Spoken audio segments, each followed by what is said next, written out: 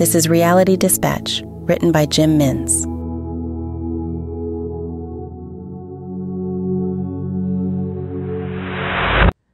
When her parents' house had settled and the finance was dispersed around her brothers and sisters, Camille was left with $20,000 after tax. The bike she bought sight unseen on the Facebook marketplace from a man who claimed to have owned it for less than 3 months. He charged her 14,000. She had sold all her possessions the day she made the online purchase. All that was left was her favorite coat, jacket, sneakers, two pairs of jeans, three pairs of underpants, and two pairs of socks. No food, no books, a dying mobile phone that wouldn't charge properly, and a picture in her wallet of her mother kissing her father. She debated internally whether or not to add this to the pile of junk to be incinerated. To hold on to the image was to be attached. She was happy to have an e bike because it felt less confrontational than a conventional combustible engine motorcycle. They required a clutch shift and a knowledge of the braking techniques, otherwise, the engine would go dead. She was reminded of a long lost partner who was infatuated with the machines. He had an old Indian. It was intimidating to her. She remembered burning her calf muscle while sitting tandem on one particular outing. The e bike would serve her well. It required one push to ignite, one twist of the wrist to accelerate, and one pull of the other handle to brake. It should be charged at night for optimal performance the next day. She would be able to ride five hours solidly without the need to recharge. This would serve her well. She was left with $4,500 once her possessions had emigrated out of the front door of her soon to be vacated apartment. This was what liberation felt like. To stay was to be attached. She hit the open road the following day with a sense of freedom reserved for those who had just been released from particularly long sentences. The rush of air flicking her hair, the speed and maneuverability of the machine, and the black top of the tar as it laid out beyond the horizon, all glistening under a perfect blue sky with golden sunshine. This was what heaven felt like. She would ride like this for days, for hours, for years, for however long the $4,000 would carry her. She would not rest on her laurels like she did when mum and dad were alive. To stay is to invite attachment, and she was done attaching herself to anything. Four hours had passed, and the feeling did not cease. But she was hungry. She pulled into the rest stop an hour from the border, letting her hunger dictate her moves until that beast was silenced. She only wanted to hear from the road, and she didn't welcome the intrusion. But riding required sustenance, and this could only be achieved through a refueling. She would eat and she would leave, out the door as quickly as she came. To stay was to be attached. A burger and fries, followed by a large chocolate sundae, and still she was hungry. She ordered another large fries and water for the journey. She tipped the packet down her throat as she mounted the bike and took off to be over the border by sundown. As the road trains trailed off to their towns of delivery and the cars began to dwindle out towards civilization, she rode the highway on a flat, vast horizon and watched on as destiny approached. She wondered where the road that approached led, what that road had installed for her. She found herself instantly growing fond of the image presented, the scenery, the magic that the twilight hour brings on a vast open plain. This is why people took fantastic photos at this time of the day, she thought. I should get out and take a snap for Instagram. Another thought grabbed her mind. She shook that one off. She didn't have Instagram anymore. She didn't have social media, period. Social media was a trap designed to hold her eyes hostage and steal experiences beyond the screen away from her. To be on social media was to be attached.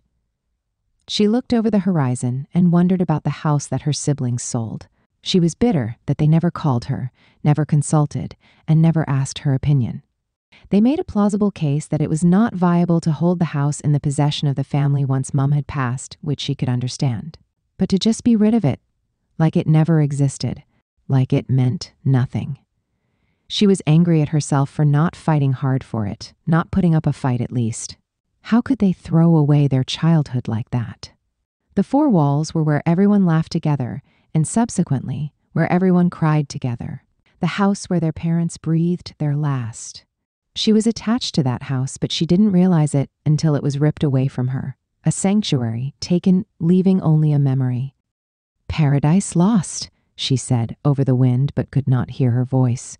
Her eyes grew weak and she felt the lids grow heavy. She had ridden for over eight hours. This was unsustainable for an indefinite period, and this was only day one. She needed to rest for the night and sleep.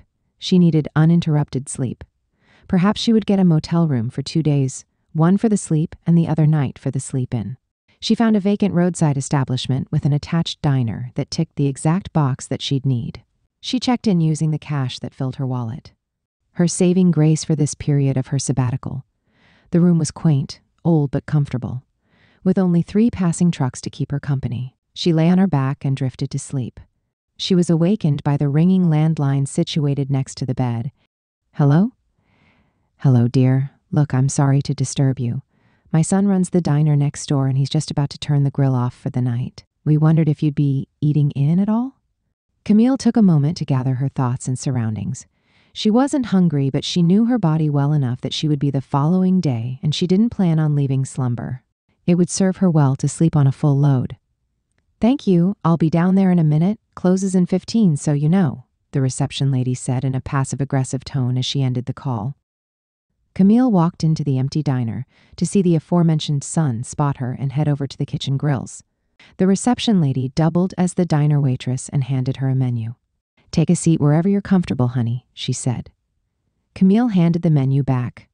I know what I'm having a cheeseburger and fries, she said, wanting to retain the sensation she received at lunch. Familiarity was what she was seeking, a childlike familiarity. The son brought the meal over a little over 12 minutes later. He placed the plate down in front of her with a smile. Thank you, Camille said. You're welcome. Would you like something to drink? A Coke? she said instinctively. He walked back over a half minute later with a can in one hand and a glass of ice in the other. By that time, she had already taken three bites. The burger patty melted her buds. I was not expecting this to taste this good, she said. He laughed. I'm glad. I didn't mean it in a mean way or anything. You're just very good. I cook at L'Amour, he said with a beam. Camille looked on with a vague expression. You're from Sydney, right? Yeah, yeah. Never heard of L'Amour? No, it's Michelin star.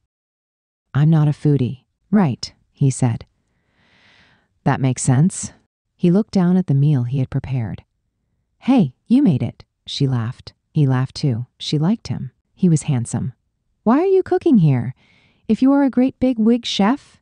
I grew up here. I visit my parents on the weekends. He took a seat opposite without asking. Camille tensed up. Is something wrong? No, she lied. Hey, if you're not comfortable, I'll go, he said, standing. Yes, please. Could you? she asked. No problem. He had left as quickly as he had arrived. She was saddened to see him leave, despite her visual discomfort but to stay is to be attached. She stood from the table and paid for her meal to his mother, who turned her curious gaze of her into scorn. She left the motel on the back of the bike and continued her aimless travels. The heavens opened up and the rain began to pour down on the midnight roads. It was the polar opposite of her experiences on the open road 10 hours earlier. She wanted that feeling of freedom and openness to return. She slowed her speed, but the cars that had suddenly appeared on the blacktop did not. She was vulnerable. She wondered if she should turn back to the motel, now that she had been riding for 25 minutes. It would take her that long to return. She yearned to put her head down on that brown corduroy pillow. She missed the fabrics and the fake tiled walls already. She was attached to that room in the 30 minutes she had spent in there. To stay is to be attached, she reminded herself. She twisted her right wrist and accelerated on through the storm, into the morning, into the unknown.